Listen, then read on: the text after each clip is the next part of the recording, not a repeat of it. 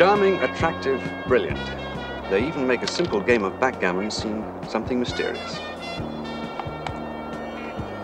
Two lovely young ladies with all the allure of playing with nitroglycerin.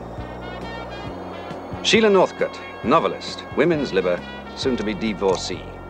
And Lady Greer, swinging wife of Sir Trevor Stevens, MP. I'll tell you something, darling. If my husband made rude jokes about me on his television show. You'd what? Kill him? Well, why not? It's quicker and cheaper than divorce. I've heard he's fighting it. Oh, Guy claims he's determined to win me back. The jokes are his way of keeping my attention. And his ratings up. You're right. I could kill him. And dear Trevor is so bloody understanding, I could kill him. But then everyone would know I did it.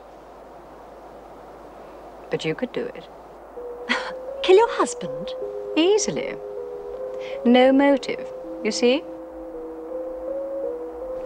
And in return, I'll kill yours for you. Deal? Why not? Seems only fair. Hello there, little ladies. My name is Harold D. Hanson. Well, hi there, fat man. Hmm? Think you have what I need, you horrible little man? Wait a minute now. Why don't you write down your name and phone number? and if I get desperately depraved, I'll call you. Why, you little... All right, that's it. Come on, crawl back to your seat. She'll have you for breakfast, boy. Who's Sir Galahad? Lady Greer Stevens. Meet Simon Templar. After you, your ladyship.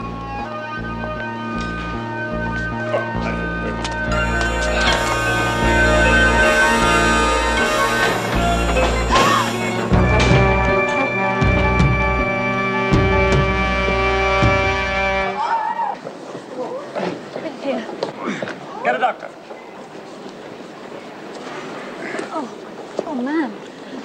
What a terrible accident. Does Mr. Simon Templar think it was an accident? No, I don't. My husband's office will deal with him.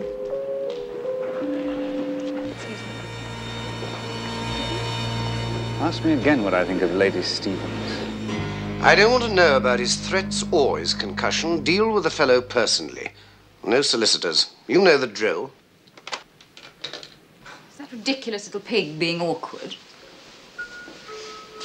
It's a matter of money, my dear. And high office. Is there anything else for me to hear? Bought masses of clothes in Rome. I'll give you a fashion show. Good. I met an awfully interesting man on the plane. We agreed not to discuss those matters. I only wanted to know if you still loved me. Everything is all right between us still, isn't it? Well, it's better than all right. In fact, in its own way, it's never been more exciting.